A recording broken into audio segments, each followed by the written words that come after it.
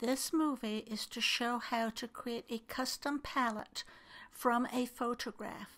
Open any photograph on your computer that you wish to use for this purpose. In this particular one, I see a lot of a similar color, so I'm going to first crop the photo.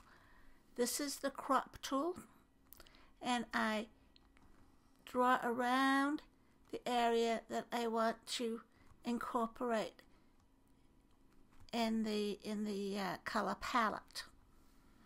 I hit enter and it crops the image. The next thing you need to be sure is that it is an RGB format. When you opened it up, it was important that it is an RGB. Go to image, mode, and make sure it says RGB. If it doesn't, you must reopen it and ask at the point of reopening for it to be RGB. At this point, we're going to now change it from RGB to indexed color. We are going to then select local perceptual and the number of colors. I'm going to pick 20. Now I look at that and mm, I'm not getting the colors I want here, so I'll pick 30. It's looking still subtle. How about 40?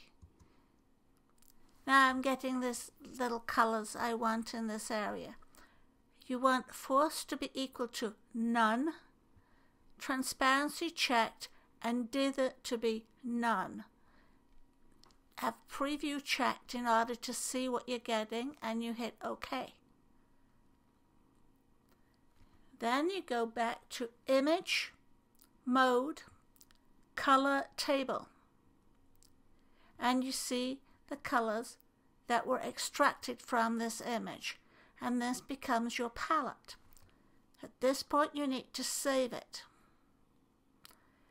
I save mine under Applications, Presets, Color Swatches. I also like the ACO format. So I'm going to change this to ACO and I'm going to call it cactus because that's what I use. And I make it ACO. That works. I then save that and I say use ACO. Replace. Now I can close this and I can open it in my swatch panel by clicking here and going to load swatches and I check cactus ACO open. And there is my cactus colors right here.